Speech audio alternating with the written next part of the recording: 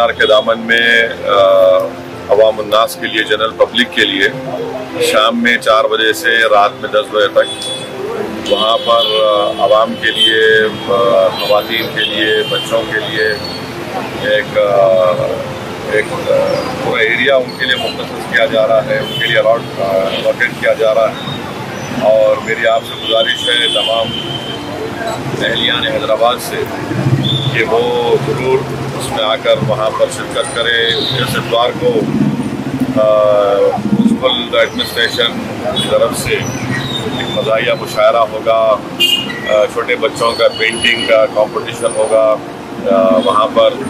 مختلف فوڈ کے اسٹال لگائے جائیں گے، مختلف ایکٹیویٹیز ہوں گی مقصد یہ ہے کہ ایک تاریخی عمارت ہے، حیدرآباد کی پہچان چار مینار سے ہے اور اس کے اطراف میں جتنے لوگوں کو وہاں پر لایا جا سکے، حیدرآباد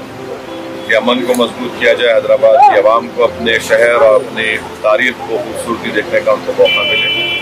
اور ٹریفک، پارکنگ کا انتظام بھی کیا گیا ہے۔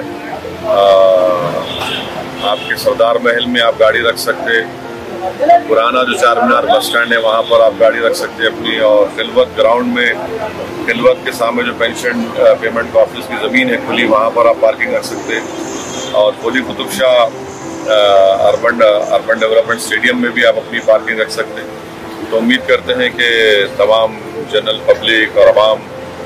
چار مینار کے دامن میں آ کر اتوار کے دن، سنڈے کے دن، سیونٹین اکتوبر کے دن شام میں